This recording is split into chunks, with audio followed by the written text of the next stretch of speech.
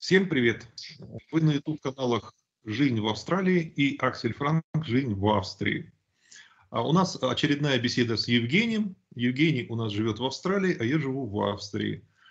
И сегодняшняя тема – Соединенные Штаты Америки. Дело в том, что а, в русскоязычной среде, как в общем-то и во всем мире, довольно сильны антиамериканские настроения – а где-то эти настроения чисто сказать, носят характер э, некоторой фронды, а где-то это искренняя ненависть, как э, у многих россиян.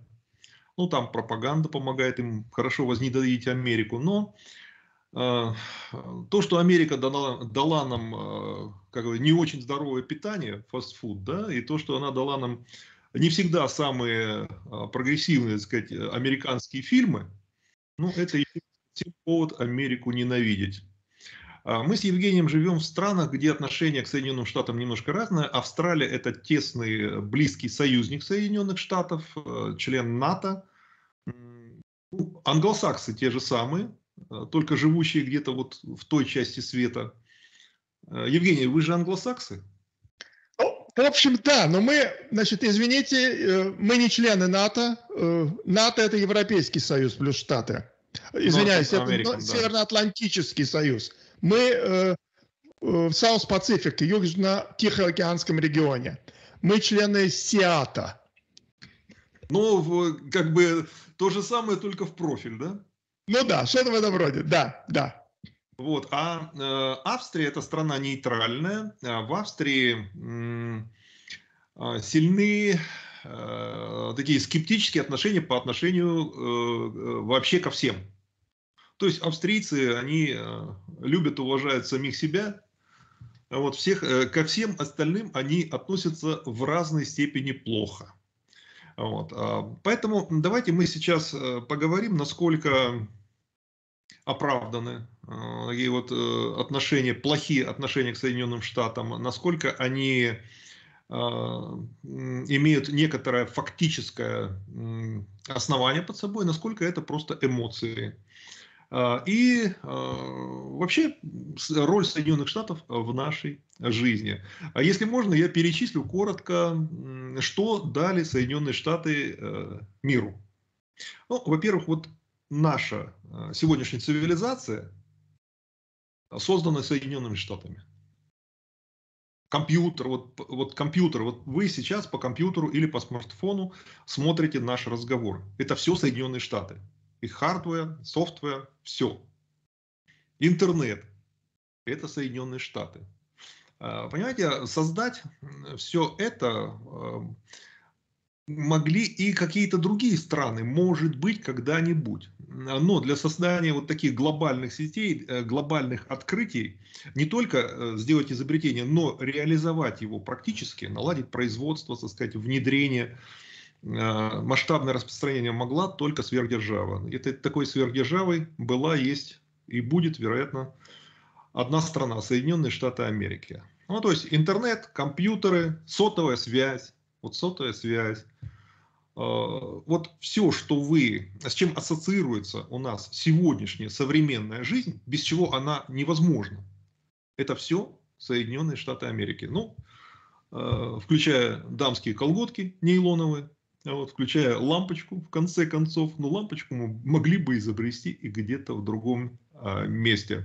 А помимо этого, куча всяких мелочей, вот, вроде Голливуда с его кинопродукции, вот шоу-бизнес, который, в общем-то, задал мировой стандарт. А, можно говорить, насколько он хорош, насколько плох, но тем не менее это, это факт на сегодня.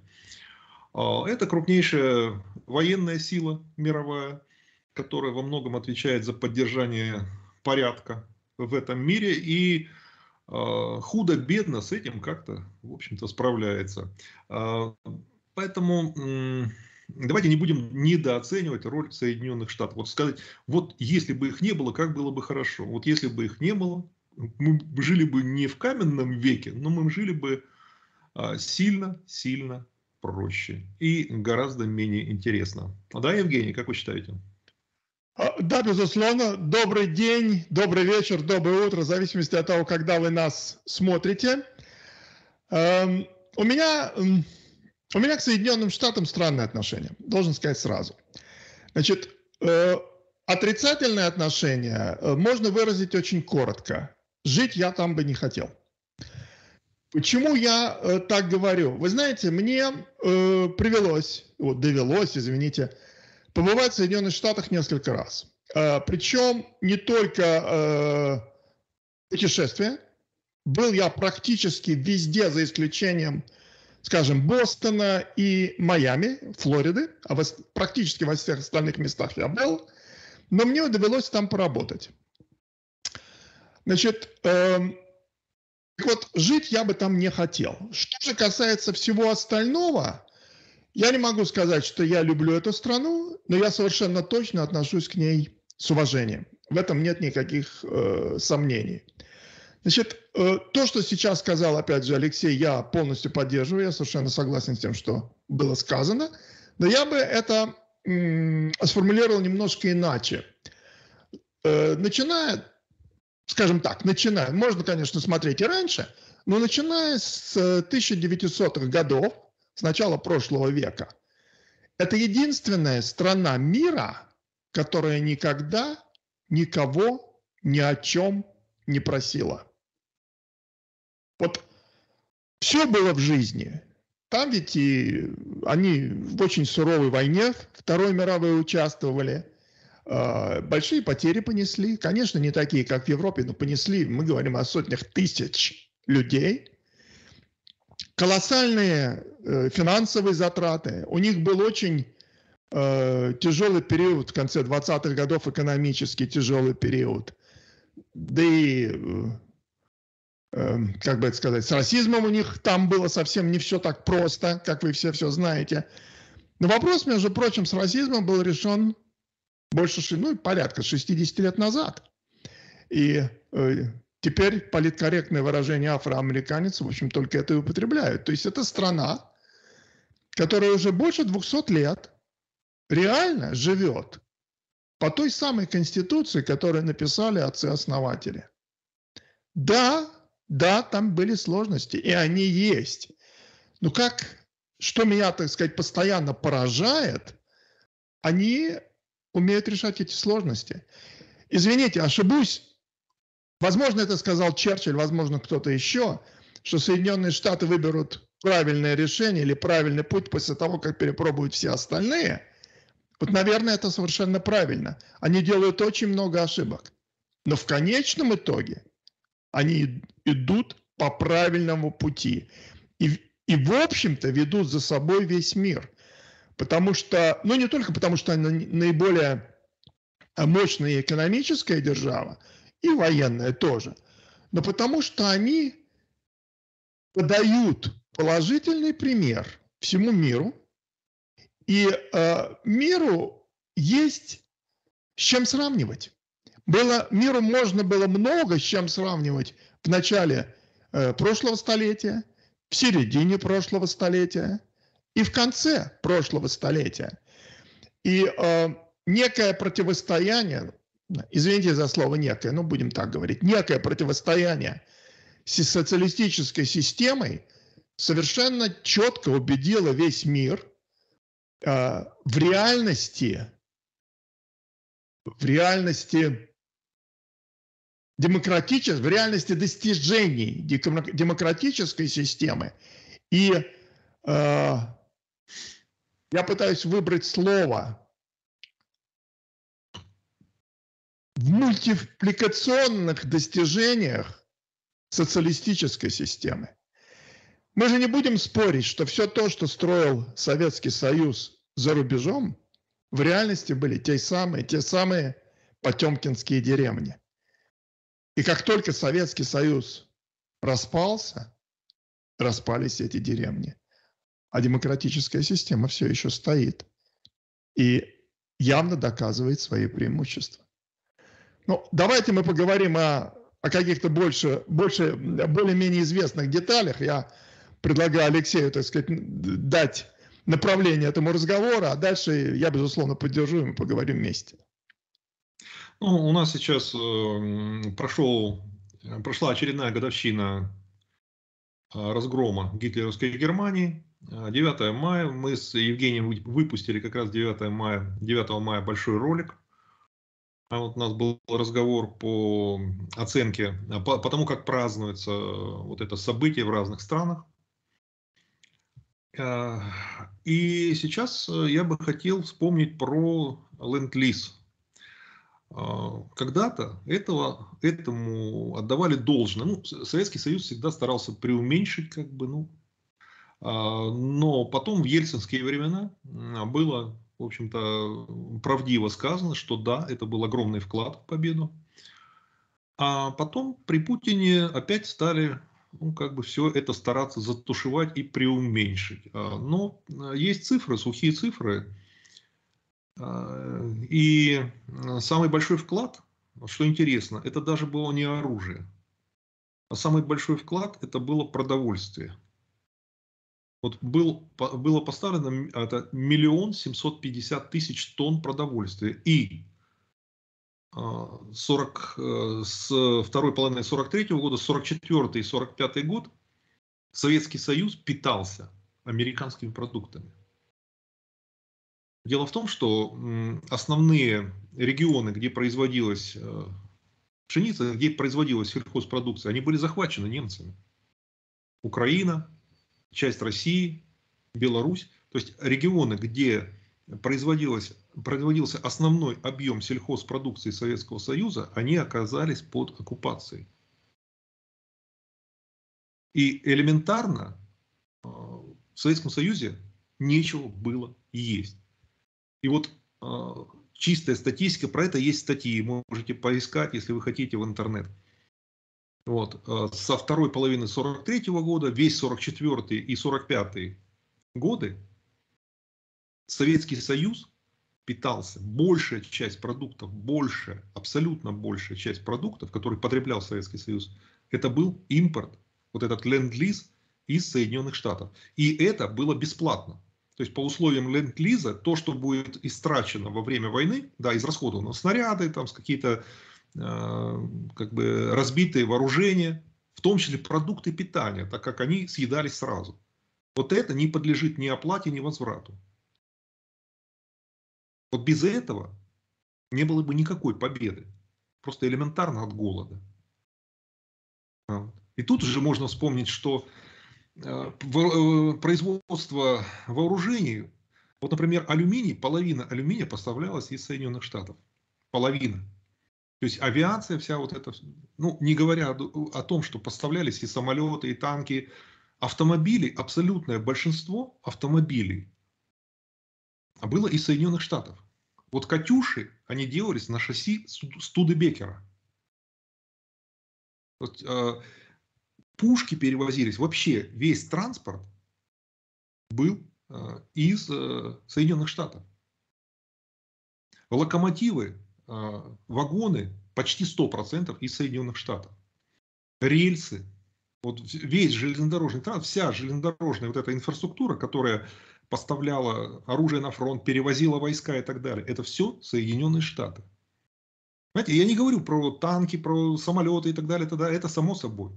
Но э, снаряды, пули, всего этого не было бы без Соединенных Штатов. Россия, Советский Союз не мог бы этого произвести, потому что э, основной объем там и меди, и олова, это все приходило из Соединенных Штатов. Знаете?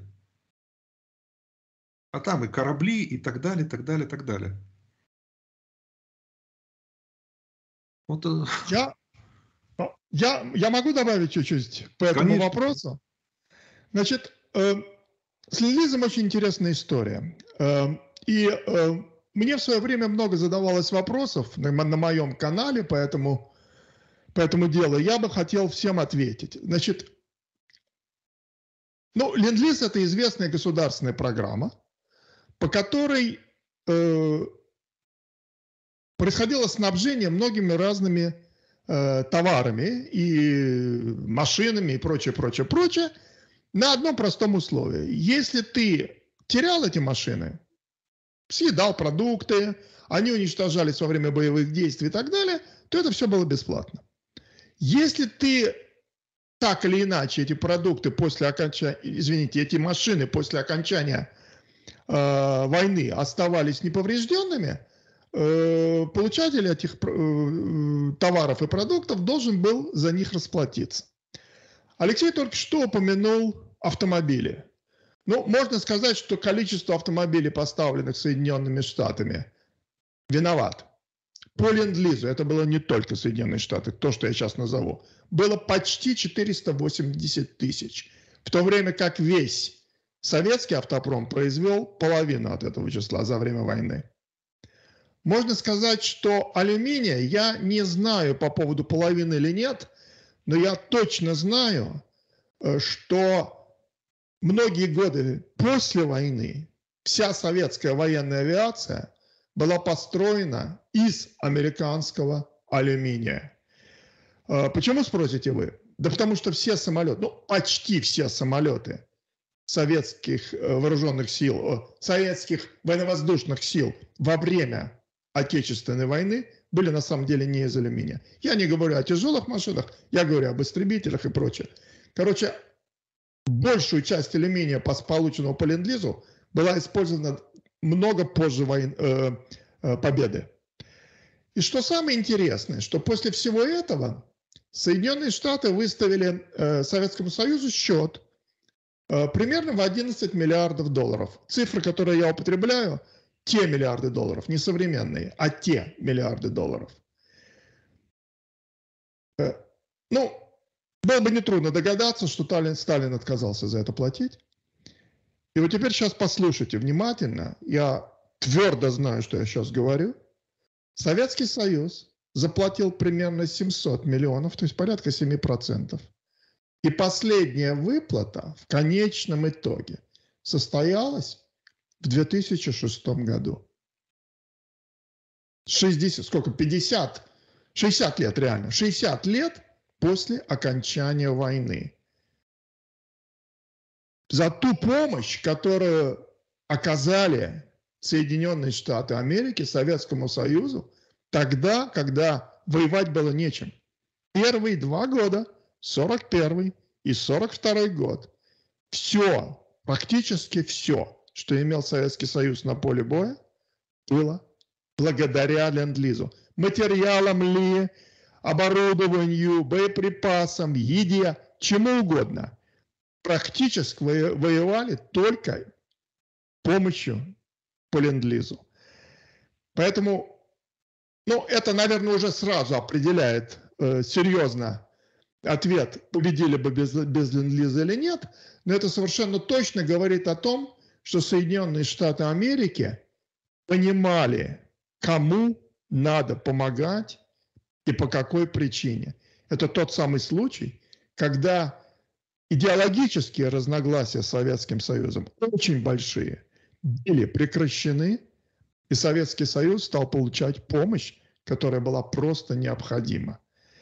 И примеров таких, надо сказать, в 20 веке было множество после окончания войны, когда Соединенные Штаты вели себя именно так. Они смотрели то, что по-английски называется big picture, они понимали стратегические движения мира в нужном направлении и совершали действия для того, чтобы помочь стране, той, которая идет в правильном направлении.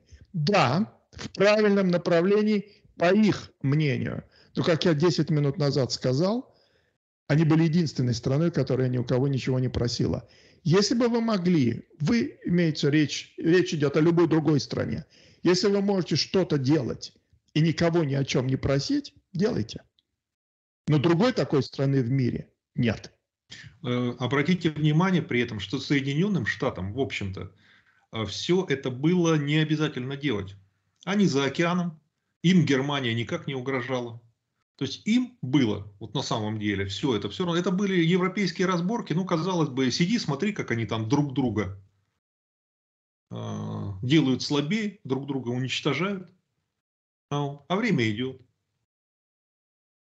Так что Соединенным Штатам э, как бы вот никакой обязанности ввязываться во все у них не было. Никакой страшной необходимости во все это ввязываться у них тоже не было. Казалось бы, да, вот э, фашисты воюют с коммунистами. Ну, прекрасно, пусть воюют. Пусть друг друга уничтожают. Но нет, Соединенные Штаты не стали так рассуждать. Хотя вот, а, будь на их месте Советский Союз, он рассуждал бы так же. Э, вот, Насчет Алексея. Так же в смысле, наверное... пусть, пусть друг друга уничтожают, чем, чем хуже, тем лучше. Ну, Соединенные Штаты. Наверное, наверное, это тот редкий случай, когда я не совсем с вами соглашусь. Дело в том, что если бы Германия победила, то, безусловно, в союзе с Японией э, они бы представляли значительно большую опасность в конечном итоге для Соединенных Штатов. То есть стратегически это решение Соединенных Штатов было понятно, почему они помогали. Но вот что произошло дальше, и с чем я точно так же, как Алексей сейчас сравнил бы Соединенные Штаты и Советский Союз, это вот то, что произошло после создания атомной бомбы. Многократно есть э, вопросы на разных каналах, а почему американцы, имея такое преимущество в ядерном оружии, после войны не уничтожили Советский Союз. Вы понимаете, это настолько непонятно было и для людей, живущих на территории Советского Союза многие годы. Э, но ответ, в общем, простой, а потому что они живут по Конституции. И потому что они не, э, они не делают всего без предназначения. Вот в Конституции их написаны определенные вещи. И уничтожение государства там, другого, которое на них не нападало, там не прописано. Я говорю сейчас очень банальные вещи, очень простым языком, я заранее прошу прощения. Но вот ответить, потому что вот они такие хорошие, неправильный ответ а вот потому что они жили и живут по Конституции. Ну, Евгений, это же не единственный случай, когда Соединенные Штаты не воспользовались слабостью Советского Конечно. Союза, потом России. Ведь были, был еще 91 год когда, казалось Конечно. бы, можно было воспользоваться, можно было, сказать, э, не собирать все оружие э, ядерное из э, Белоруссии, Украины, Казахстана, все это для обеспечить передачу всего этого России. Это можно было другими условиями обставить, это можно было, сказать, душить еще больше вот эти развалившийся Советский Союз, просто добить его. И добить его, и защищать его было некому. Как некому было защитить Советский Союз от развала, некому было защитить вот эти отдельные развалившиеся части. Бери голыми руками. Их не стали брать, их стали помогать. Стали продукты посылать, собрали ядерное оружие. Ну, рассчитывали, что в России в голове что-то есть. К сожалению, ошиблись. Но, понимаете, вот э, это тот случай, когда, будь на месте Соединенных Штатов, ну, Советский Союз или Россия потом, такого бы не было и ядерное оружие бы применили, и добили бы. Поэтому они не могут понять, потому что э, с точки зрения, с логики, э, если мыслить логикой сталинской, то Соединенные Штаты, да, лузеры, лохи. Как так? У них была ядерная бомба, они ее взяли не применили. Ну, бомбанули бы. Понимаете, э, была необходимость, да, штурм японских островов – большие жертвы, там они вот так посчитали, что ладно, мы лучше их напугаем сильно, э, избежим э, гигантских жертв и со стороны японцев, со стороны американцев, союзников. Ну, таким образом закончим войну. Хотя вот решение не гуманное, но его можно как-то объяснить. Но они не стали потом применять тот же, вот да, на, на Москву, одну бомбу на Москву, другую на Ленинград. Все готово. Нет Советского Союза больше очень интересный, очень интересный. Про, про Советский Союз можно много говорить, и можно говорить о нежелании распространения ядерного оружия и прочее, прочее, как контраргумент тому, что мы только что сказали. Но я предлагаю просто с точки зрения тенденции посмотреть даже не на этот, э, так сказать, случай, а на случай э, Первой войны с Ираном. Э, извините, с Ираком. Ведь многие люди говорили, ну вот как, Тэтчер нет, Рейган умер, а Ирак, а Саддам Хусейн все еще там. То есть после того, когда э, Ирак захватил Кувейт, когда международная коалиция под, безусловно, руководством Соединенных Штатов э, разгромила Ирак и вернула Кувейту независимость, Соединенные Штаты ушли из Ирака. Они не стали искать Саддама Хусейна, они его не, при, не призвали к суду, они его не убили, они оставили Ирак в покое. И что случилось после этого? А, Евгений, а тут еще интересный вопрос. Они, они не то, что они ушли из Ирака, а то, что они ушли из Кувейта. Вот казалось, представьте себе Кувейт, гигантские, невообразимые запасы нефти, добывается легко, дармовая, при карманте. Оставьте себе. Не? Они берут и уходят из государства, которое не имеет ни армии, вообще ничего не имеет, которое вот э, захватить не стоит вообще ничего. Да? Вот, э, э, многие, кому российская пропаганда сказать, мозги загадила капитально, да, они вот говорят агрессивность Америки. А в чем, а в чем выражается агрессивность Америки? Вот под боком у Америки есть Куба, которая враг. Вот настоящий враг. А, пока был Советский Союз, ну ладно, Советский Союз там Кубу как бы защищал, как бы вот за Кубу выступал, э, ну мог как-то вот э, Кубе оказать какую-то все. Потом Советского Союза не стало. Россия с Кубой имеют нехорошие отношения, разругались они. Куба одна. Вот есть прямо под боком нищая, вот полной нищете с армией на уровне там полиции, вооруженной стрелковым оружием. Вот абсолютно страна, которую захватить достаточно вот послать там полк и захватить ее. Вот э, Америке захватить Кубу, э, свергнуть там Кастро, э, режим вот этих последователей Кастро, поставить там, привести из Флориды эмигрантов кубинских, они там быстро все организуют. Пять секунд. Никакого, никаких проблем не представляет. Америка этого не делает. Вот США этого не делает. Вот э, говорят, Америка хочет захватить вот российские углеводороды. Была одно время такая популярная песня. А почему США вот э, почему вы против США хочет захватить наши углеводороды? Ну это идиоты полные. Говорит просто идиоты. Ну ладно, ну они все равно люди, все равно что-то говорят. Э, под боком Венесуэла враждебная, которая вот враг Соединенных Штатов, которая там отобрала у компании, сказать, э, приватизировала нефтяную эту, в полной разрухе, нищета неимоверная, а занимается трафиком наркотиков. Вот наркотрафик во многом это вот спасибо Венесуэле. Государство, э, которое как бы падает от шелбана. Вот э, там, опять же, все вооружения вот на джипах с автоматами ездят. Защитит э, Венесуэлу некому. Встать на ее защиту там и нет, некому. Нефти самые крупные в мире запас. В мире. То есть это зачем Соединенным Штатам э, с Россией, с ядерной державой, вот, заниматься захватом у России углеводородов, когда под боком крупнейшие в мире запасы нефти абсолютно, сказать, можно захватить, опять же, без особого труда, элементарно, и найти там местное правительство с удовольствием, оппозиция, там все, даже президент там есть какой-то, который на выборах якобы победил, оппозиционный. Ну, тут все есть, все готово. Но нет, Венесуэла продолжает жить, гадить. Вот. Свой народ там мордовать. Причем примеров этих, безусловно, Алексей, примеров этих, ну, ну просто колоссальное количество – вот как сейчас, так и в середине, скажем, прошлого века, когда была э, Корейская война. Ну, наверное, наши зрители помнят, что я в прошлой передаче нашей совместной сказал, что Советский Союз не вел ни одной войны, которая не была бы захватнической.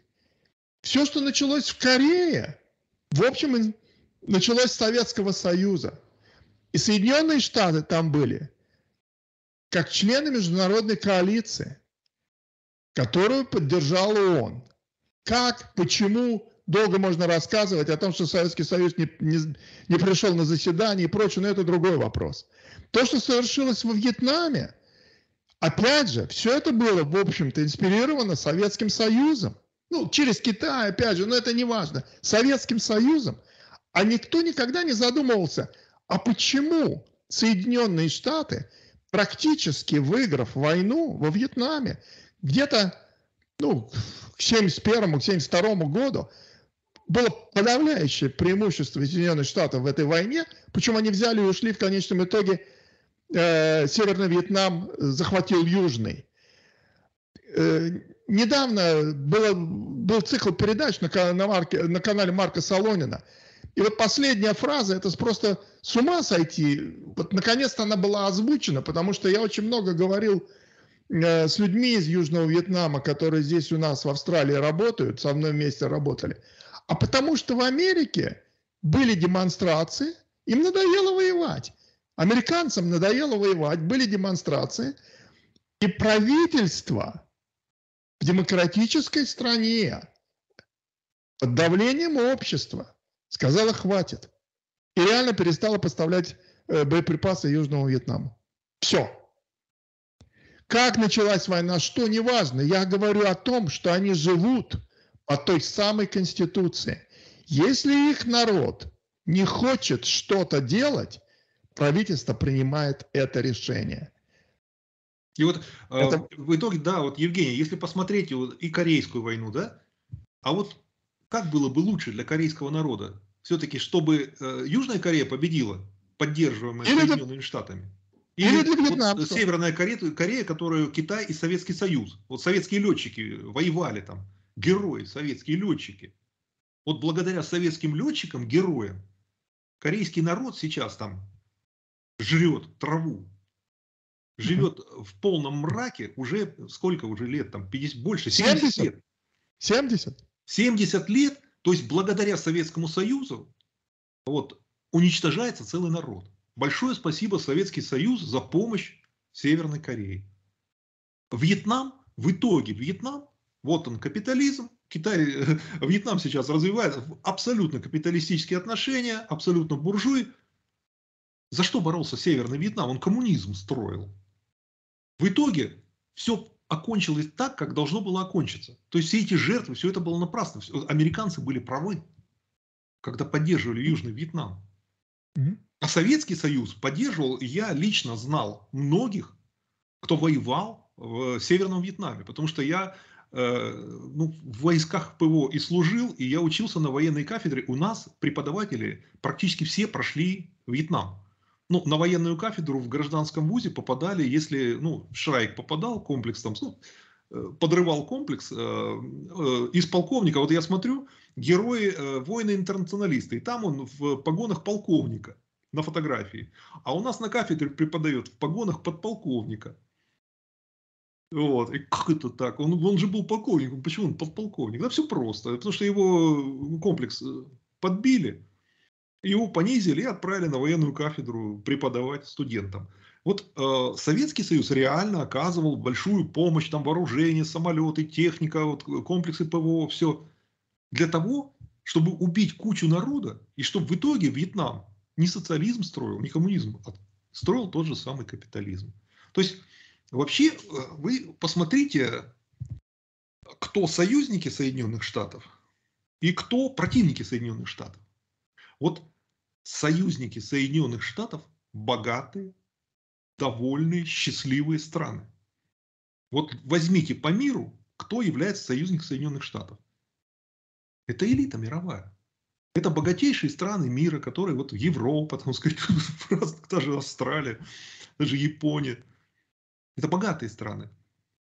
Китай, он не союзник, не противник. Китай это крупнейший торговый партнер Соединенных Штатов, который связан с Соединенными Штатами. То есть они ведут свою политику, они сами хотят стать ну, э, силой мирового уровня. Китайцы. То есть они не противники Соединенных Штатов. Так же, как они не союзники России. Это показало, что Китай вообще не союзник России никак. Он, э, сказать, косо смотрит на нее. А вот. Э, все сибирские и дальневосточные города имеют китайские названия, сильно отличающиеся. Хайшиньвейн какой-то вместо Владивостока, да? А вот. И все эти территории на китайских картах как-то вот другим цветом закрашены. Особенным. Поэтому, э, как сказать, а противник, а кто у нас противники Соединенных Штатов? Смотрим, да? Да, это э, какая-то мировая закулиса, какая-то помойка мировая. Вот это противники Соединенных Штатов. И какие-то отсталые страны, какие-то страны с диктаторскими режимами, страны авторитарные, страны, э, которые, в общем-то, ну, где люди счастливо не живут.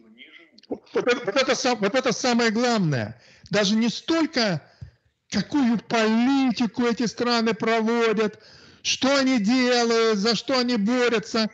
В конечном итоге, где люди счастливо не живут, вот это вот тот самый критерий, который объясняет все. Абсолютно согласен. Абсолютно правильное замечание, Алексей. Вот, э, Евгений, что по, э, по-вашему, вот смотрите, э, Соединенные Штаты, они предлагают миру некоторый образец. Они говорят так, рыночная экономика, некоторый стандарт по соблюдению прав человека, э, некоторая демократическая система, сменяемость власти, выборность власти, то есть народовластие. А вот все это вместе это рецепт э, некоторого процветания. Соединенные Штаты показывают это на своем примере, да, являясь крупнейшей экономикой мира, являясь достаточно богатой страной, где население живет ну, очень обеспечено. Э, союзники Соединенных Штатов тоже этому подтверждение. И э, есть какой-то вот образец, который предлагается разным странам, которые пока э, идут каким-то своим особенным путем. Это и африканские страны, азиатские страны, да, им предлагают, вот смотрите, так, так и так. Вот если вы все вот это делаете, мы вас поддержим, мы вас э, помогаем вам финансово, вы имеете перспективу вступления в какие-то организации, ну, Европейский Союз, например, да, который вот Европа живет по тем же самым принципам.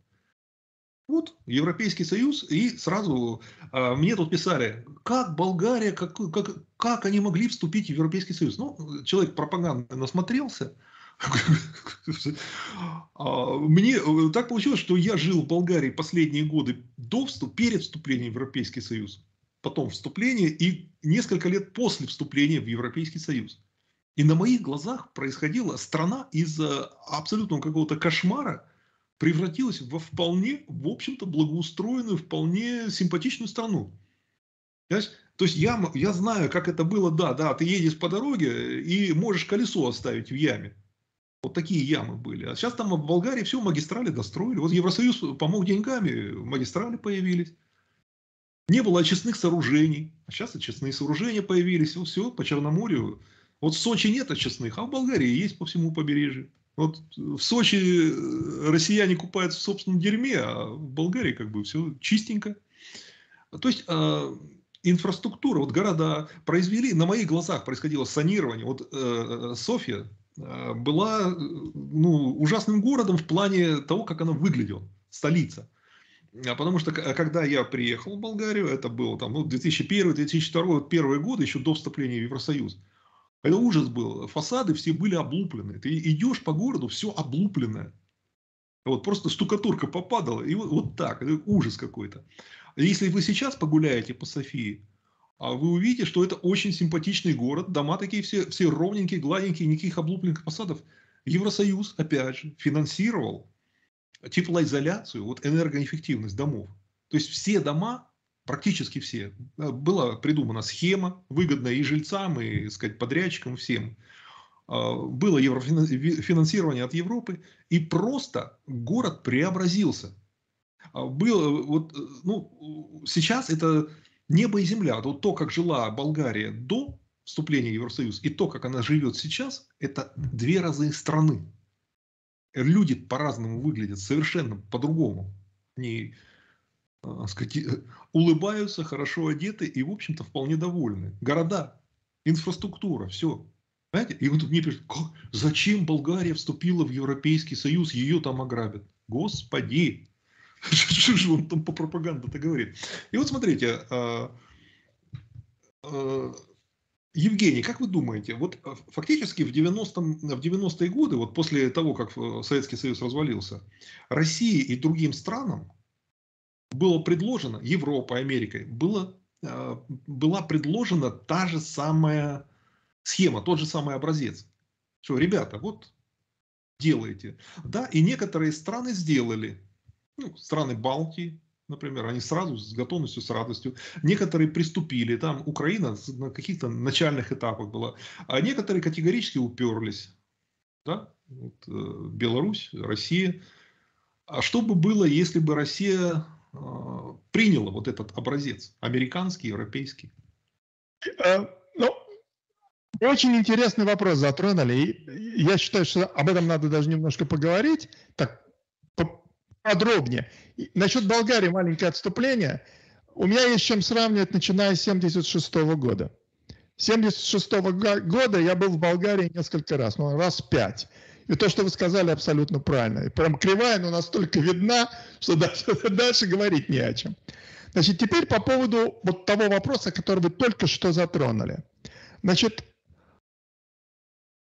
давайте мы посмотрим, что произошло несколько лет назад, и тогда попробуем ответить на этот вопрос.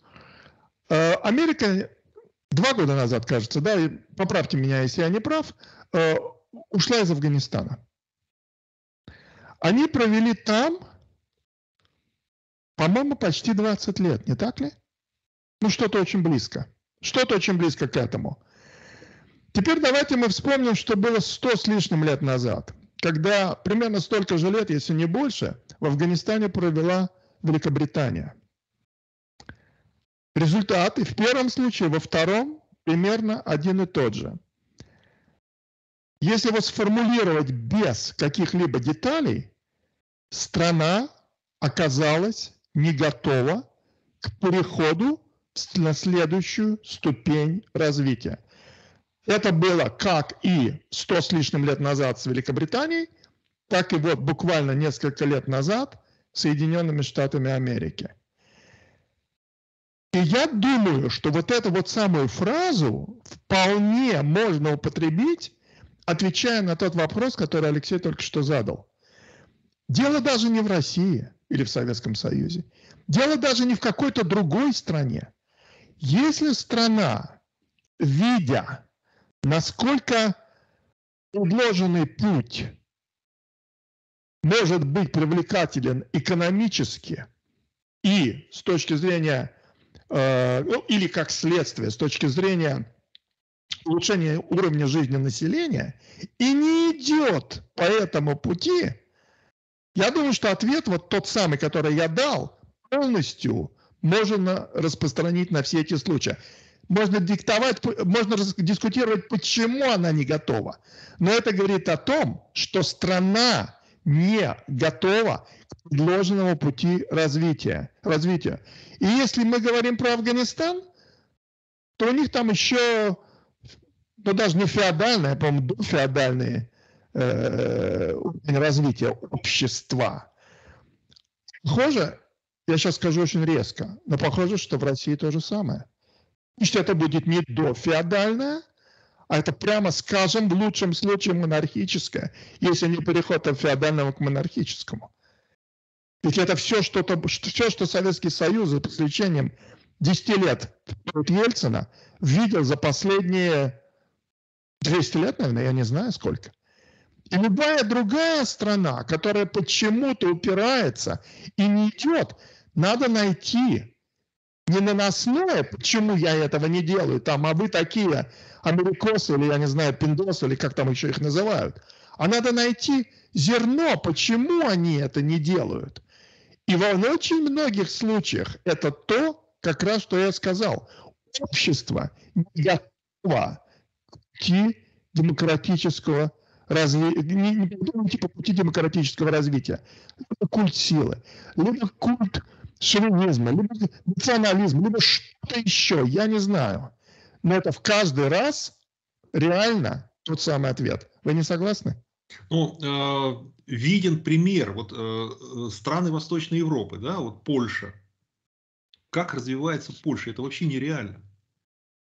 Польша, в общем-то, была очень средненькая, довольно бедненькая страна в Варшавском договоре, в Совете экономической взаимопомощи. Это была ну, такая э, провинциальная во многом, э, очень небогатая страна.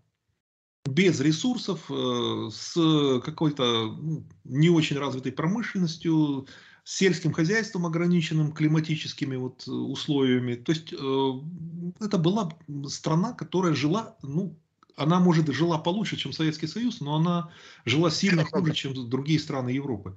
А что сейчас? В Польше просто экономический бум. Ну, страна действительно развилась э, ну, невероятными темпами, да? Чехия, ну, Чехия, Словакия. То есть есть пример Румыния. Вот, вот, ой, Румыния. А что? Ой, Румыния. А вы побывайте в Румынии, вы посмотрите. Мало того, я вот сейчас смотрю Албанию, я в последнее время стал э, смотреть много кино, как-то вот выдача один раз попалась, я стал смотреть, и YouTube стал мне постоянно рекомендовать. А посмотрите, что в Албании сейчас происходит. Вот это, казалось бы, совсем уж дремучая страна, она преображается на глазах. То есть, э, есть вот этот образец, который дает Соединенные Штаты и так сказать, Евро, Европа, вот этот образец, он работает. Если ты его принимаешь, он начинает работать. Если ты начинаешь тормозить как-то, да, вот, э, какие-то авторитарные тенденции, у тебя тормозится все. В том числе и экономика, и социальное развитие, все тормозится. Ну вот сейчас э, мы это видим. Вот э, Россия приняла из пакета, да, она приняла, да, рыночная экономика хорошо. Вот в России есть рыночная экономика, и она работает. И благодаря этому Россия, в общем-то, и не голодает, благодаря этому экономика как-то вот живет, люди более-менее живут. И именно благодаря рыночной основе. Потому что Советский Союз вот без рынка он просто развалился, он не, не смог выжить экономически. И вот один из образцов, которые предлагают Соединенные Штаты, Россия приняла, и этот образец работает. А вот другой образец, например, демократия, сменяемость власти, Россия не приняла его. Да, вот в России царская традиция, у нас мы все дураки, а вот царь умный, пусть у нас царь будет, пусть он нами вот э, руководит. В итоге царь, в итоге э, санкции со всего мира, э, отсутствие уважения со всего мира, война, в которой вот этот великий, гениальный руководитель вверх страну в 21 веке. Причем война вообще бесславная, война очень неуспешная, которая сейчас просто все достижения России, в том числе и экономические, она съест. Вот эта война.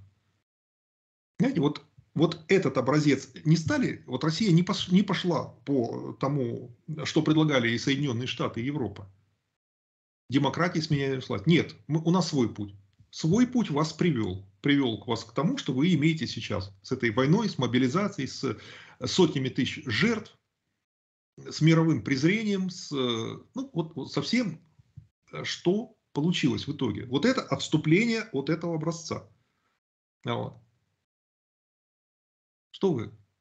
Вот, вот вам реально, вы на, на своем опыте, на своей жизни понимаете, что Соединенные Штаты предлагают правильно. А вот если ты не слушаешься того, что предлагают Соединенные Штаты, получается плохо.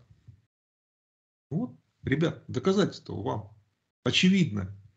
Вот если бы Россия приняла все то, что вот, вот этот пакет, вот станьте нормальными, да, вот Европа, Америка предложили, Россия, а давайте вы будете нормальными. Вот мы не против. Была бы та же самая рыночная экономика, но не было бы войны. Вместо Путина там было бы еще другое. Еще их сменилось бы уже два или три за этот период. Они бы приходили и уходили.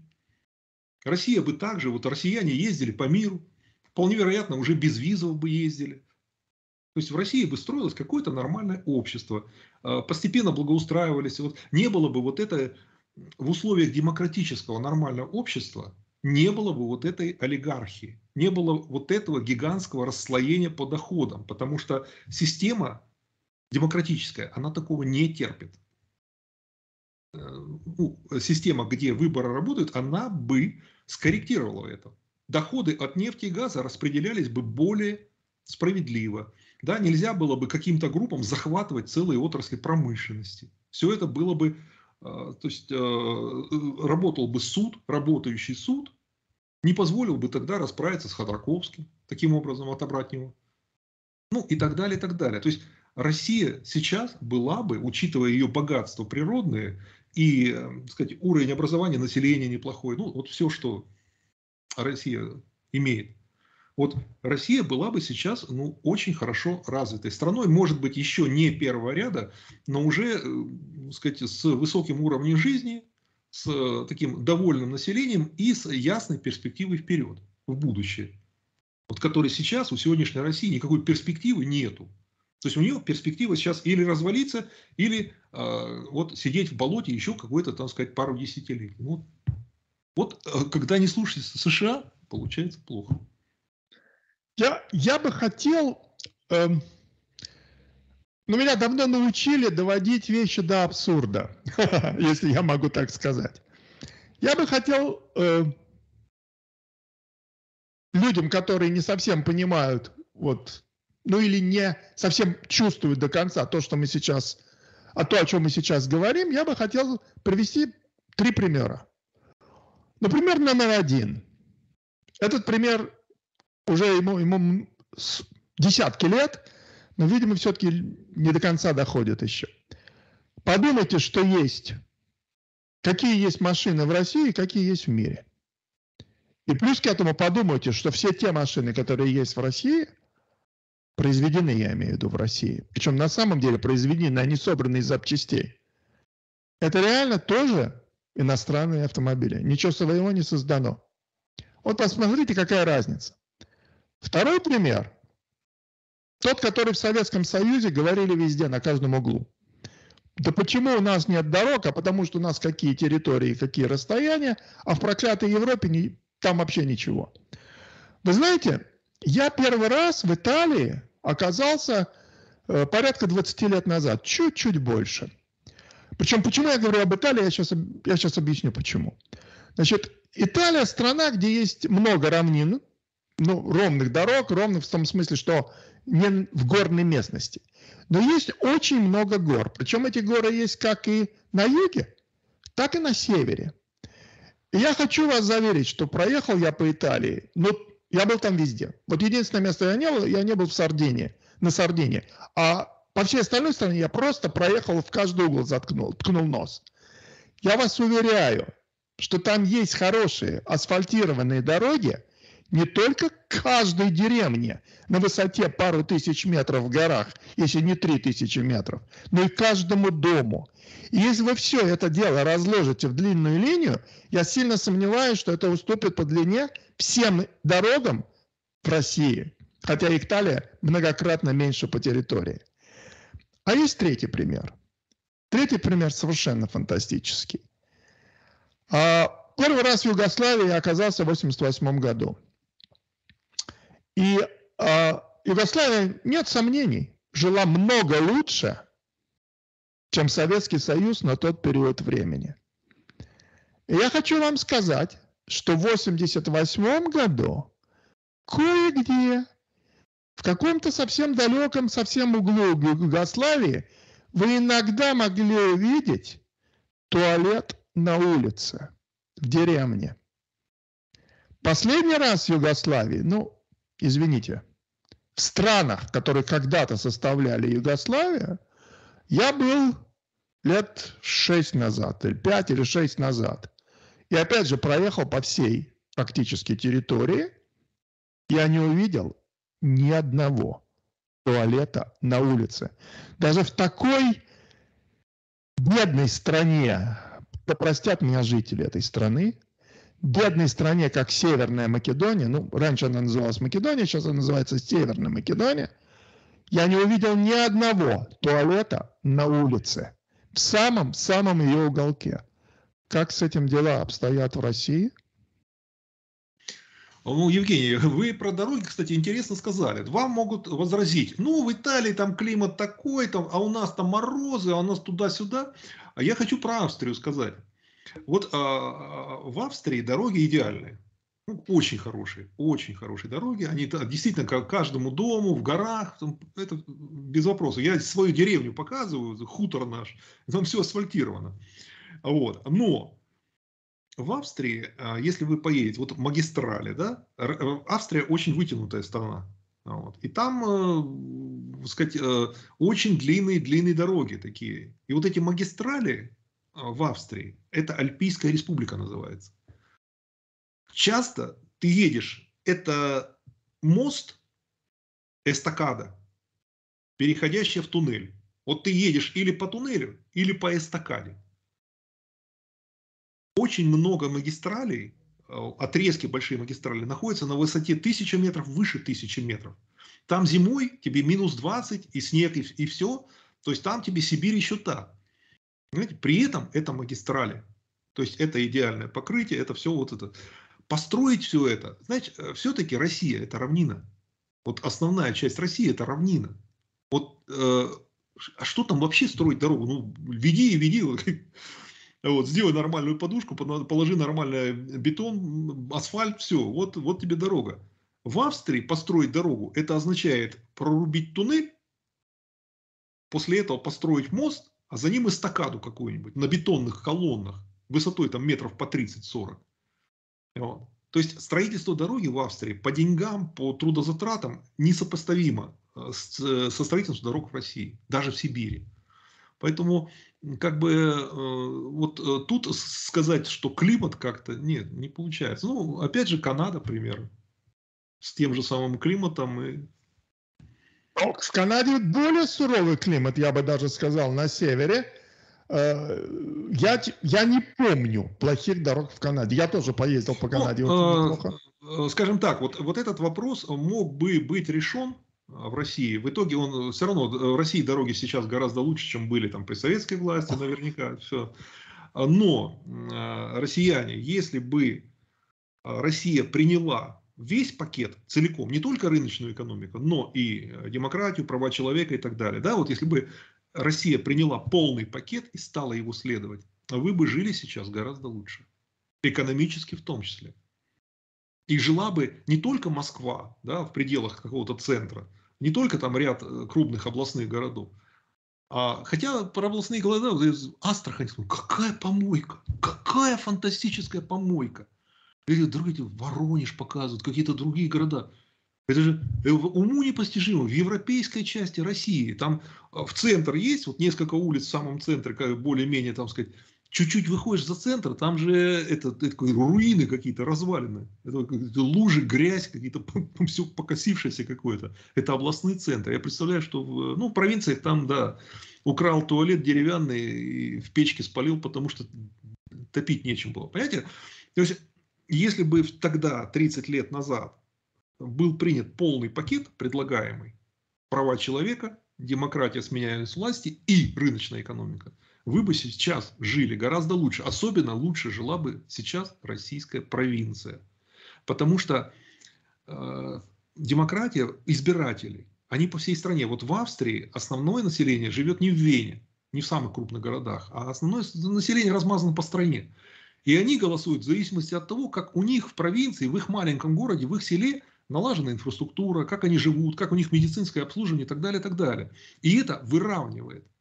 Понимаете, то есть э, те, кого они выбирают, а это реально выборы, это реально работают, они вынуждены вот, поддерживать как-то финансово, организационно, думать над проблемами не только столицы, центра столицы, но и провинции. Если в России так было, да, то тот, та же Астрахань была не такой помойкой, которую она представляет из себя сейчас. И в э, маленьких вот этих городах, в маленьких вот этих э, райцентрах уже давно была бы центральная канализация, потому что это не так сложно, если деньги не воровать и не строить на них яхты. Вот. А эти деньги пустить на создание центральной канализации в райцентрах, хотя бы европейской части России, то россияне жили бы сильно, гораздо сильно лучше. Поэтому слушайтесь Америку.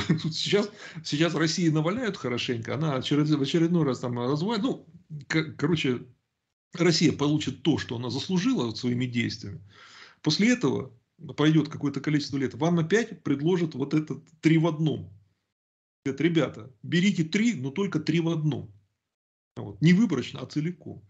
А вот в следующий раз детям своим накажите, чтобы они обязательно делали так, как им рекомендует Америка. И будет вам счастье. Вот как раз именно об этом же, вот только что вы сказали, прямо я считаю, прекрасно сказали по поводу, так сказать, э, э, того, что люди с периферии больше всего бы, так сказать, были бенефициарами этого э, принятия этого пакета. Давайте я попытаюсь сформулировать это словами более понятными для россиян. Скажите, пожалуйста, россияне, вот когда я уезжал Население, это было 92 год, уезжал из Советского Союза, ну, из России. Население Москвы было 8 миллионов. Скажите, пожалуйста, россияне, почему сейчас население Москвы ну, минимум в два раза больше, если не больше, не так ли? где-то я прочитал почти 20 миллионов с этой территории новой Москвы. Вот ответ, вопрос, почему? Ну, наверное, не потому, что э, за 30 лет 8 миллионов размножились, население удвоилось. Наверное, не поэтому. То есть очень большое количество людей переехало в Москву. Вопрос, почему? Ответ простой, потому что жить там лучше, комфортнее. Поэтому люди, зарплата, э, мед, медицинская помощь, что угодно, жизнь, качество жизни там лучше. Россияне решили переехать в Москву, когда получилось, когда не было требований к прописке и прочее, прочее, прочее, прочее. Так вот, в Австрии и в Австралии тоже разница в качестве жизни в Вене, а также практически в любом другом месте страны не видна. Она, она, наверное, есть. Но, честно говоря, я думаю, что в Вене хуже. Вот, вот почему-то я так думаю. Я могу сказать, что в Австралии жить в Сиднее много хуже, чем так километрах в ста от него. Потому что есть все то же, что есть в Сиднее, практически такой же климат, но воздух не так загрязнен, потому что там не так много машин. Мораль. Если есть выборы, если каждый голос важен, если люди живут не только в столице, то то, что люди хотят, этому правительство обращает на это внимание, и в это вкладываются деньги. Если у вас это не происходит, вам надо менять правительство. Это очень просто. Ну, кстати, население Вены не растет и даже уменьшается. Вот с годами население Видите? Вены уменьшается.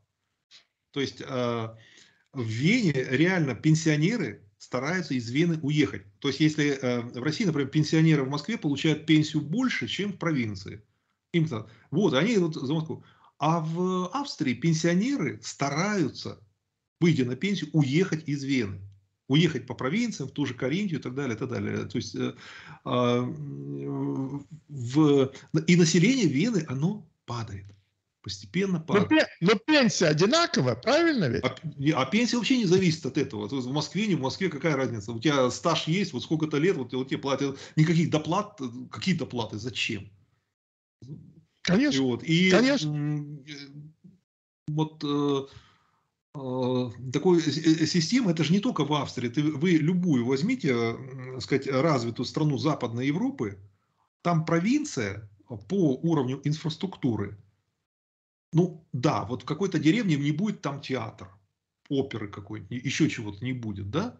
Но зато у них есть природа. Вот кому, кому-то вот опера важна, а кому-то важно выходить на берег пруда, там сказать, э, да, или по лесу погулять, или вдоль речки пройтись. Ну, то есть э, разные интересы у людей. Кто помоложе, да, они стараются в столичный большой город. Э, люди, которые уже всего этого в это наигрались, они предпочитают сказать, быть поближе к природе. Но базовые доступ к товарам, доступ к продуктам, электроэнергия, интернет, канализация, водопровод, э, какие-то вот такие общие.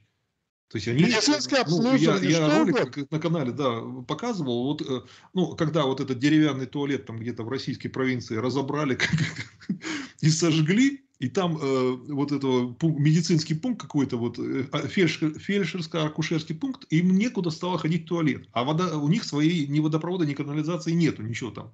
В фельдшерско-акушерском пункте. А я им показал, вот наше село, население там 800 с небольшим человек, общественный туалет у нас. Как он выглядит, там внутри ну, абсолютная цивилизация, все. А у нас вот в селе, в нашем, 800 с небольшим человек, у нас центральная канализация. Вот у нас дом, у нас центральная канализация, у нас, у нас интернет, все это вот, э, э, ну, электричество, само собой, водоп, водоснабжение, не на колодец ходим, тоже все центральное. То есть, понимаете, вот э, при этом мы живем, Каринтия это ну, вторая сзади по отсталости провинция Австрия. Это бедная провинция Австрии, достаточно отсталая. Но э, вот такие базовые какие-то вот э, понятия, как канализация или асфальтированная дорога, вот, или интернет – они само собой, они как бы разумеются сами собой. То есть без этого просто, то есть у нас э, может быть нюанс некоторый в, да, в доступе к каким-то вот в, к оперному театру. но доступ к базовым таким э, человеческим потребностям, он реализован. И так, э, и так везде. Это нормально. И это нормально, при этом в Австрии нету ни нефти, ни газа, вообще ничего нету. Я, хотел рассказать, уже мы уже говорим почти час, я хотел рассказать буквально за минуту, что произошло со мной в 88 извините, в 90, 91 году, в 91 году, как раз во время путча я оказался в Австрии с женой. И а, так случилось, что мы ехали, мы остановились и сказали, слушай, Ир, а, мне нужно зайти в туалет. И э, я пошел, увидел туалет, я пошел туда, и когда я вернулся из туалета, мне жена сказала, слушай, что с тобой? Что там такое? У тебя на лице что-то странное написано. Я говорю, а ты э, поди сходи, посмотри. Это был первый раз в жизни, когда я увидел, что плитка, вообще не говоря уже о туалете, плитка может сверкать настолько, что в нее можно смотреться как в зеркало. Это вот просто обыкновенный туалет на обыкновенной дороге.